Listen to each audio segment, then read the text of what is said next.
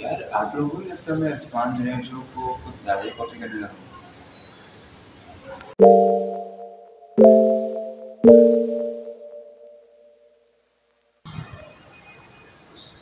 Hello जी अस्सलाम वालेकुम।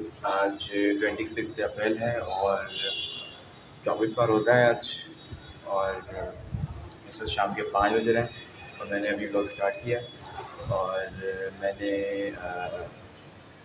कल एक प्रैंक हुआ यार हमारे साथ, आपने अगर देखा हो।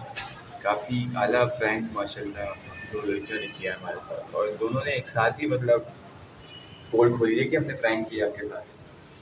मतलब समझ नहीं आया मुझे कोई चीज़। अब अल्लाह जाने, अल्लाह पहले जाने कि प्रैंक था या क्या था, लेकिन अब हो तो चुका है।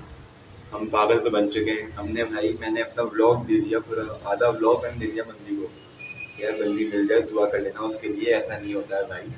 ऐलान करे जाते हैं भाई सब होता है। लेकिन ने कहा निकल। पहली फुर्सत में निकल। मैं पागल बनाऊँगी कि बन गया पागल।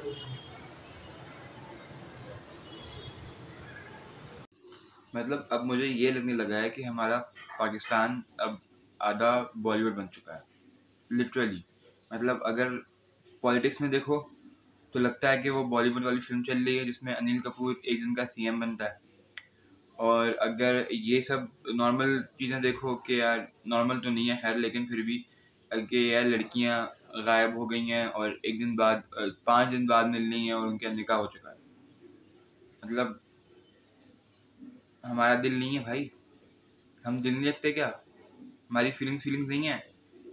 या सिंपति बटोर के यार ये सब कर लेते हो तुम लोग यार। मैंने आधा व्लॉग दे दिया बंदी को भाई। मतलब फुटेज खा रही हो यार तुम।